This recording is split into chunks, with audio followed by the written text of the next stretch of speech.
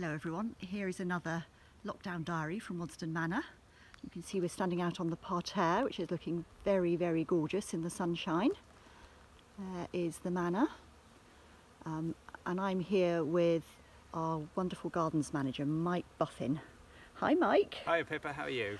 I'm good, how are you? I hope you notice I'm very carefully socially distanced from you. It's about two metres apart, which is great.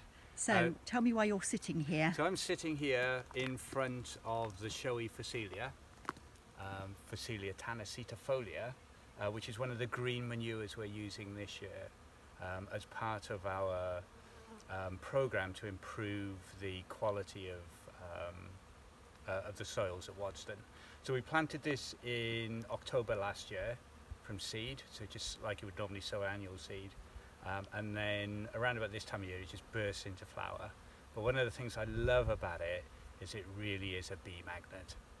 Uh, and as you can see, there, we've got all kinds of bees. Um, we've got bumblebees, honeybees, um, all kinds of bees um, getting the, the uh, pollen off the Phacelia. So it's a, a kind of very easy plant to grow with uh, that will attract a lot of wildlife into your garden. Um, this is one that you can use and you basically just wait for it to finish flower. You can collect the seed and sow it again next year or you can just let the seed lay down on the surface, just cut the Phacelia down and lay it down and then a new seed will come up the following year. It's an amazing display. It's so amazing. I think we should probably just just listen to the bees for a minute or two, shouldn't we? Because it's such a fantastic sound. Yeah, we should.